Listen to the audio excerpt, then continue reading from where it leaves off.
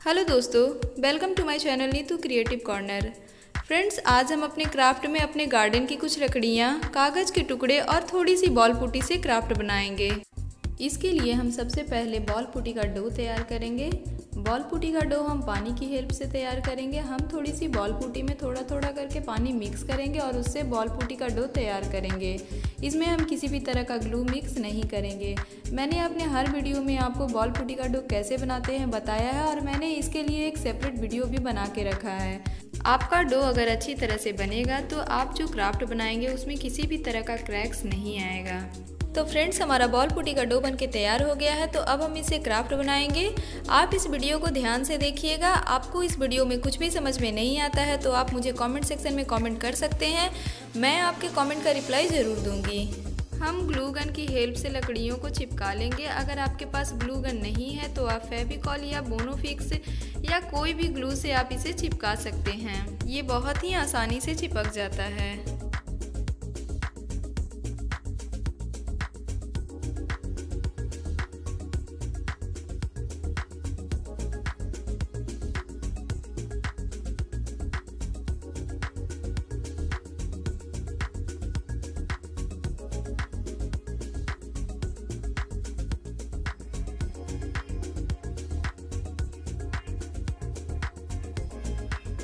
हमने सारे स्टिक को चिपका कर एक बेंच तैयार कर लिया है तो अब हम एक चार्ट पेपर लेंगे और उसे इस पर रख के कट कर लेंगे।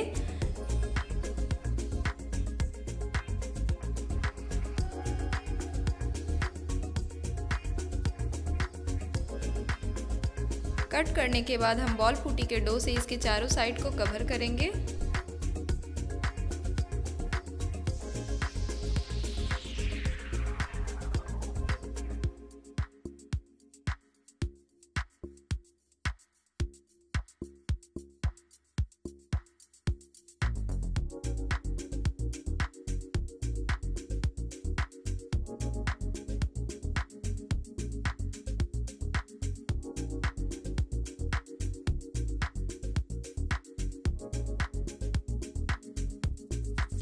एक कटोरी में चार चम्मच बॉल पूटी ले और थोड़ा सा पानी मिक्स करके घोल तैयार करें। आप इसमें थोड़ा सा फेविकॉल भी मिक्स कर सकते हैं। मैंने यहाँ पे फेविकॉल मिक्स नहीं किया है।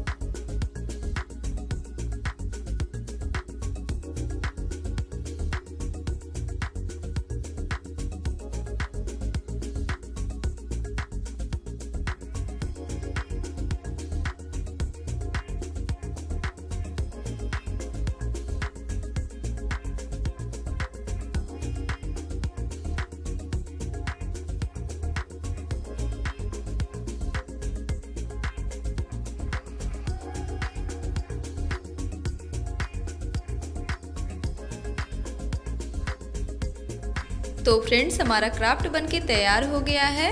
ये बहुत ही कम खर्चे में बन के तैयार हुआ है।